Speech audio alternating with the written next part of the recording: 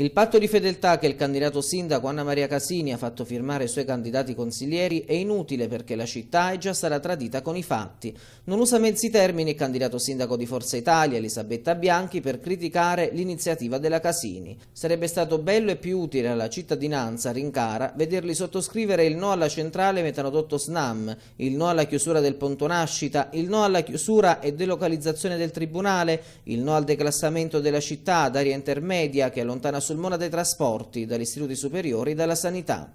Su questi temi, su cui la Bianchi si è sempre battuta, resta il silenzio delle forze politiche che sostengono la coalizione del candidato sindaco Casini. Una mega coalizione ibrida, conclude la Bianchi, che esclude dal programma questi argomenti nevralgici per Sulmona e per l'intera Valle Peligna.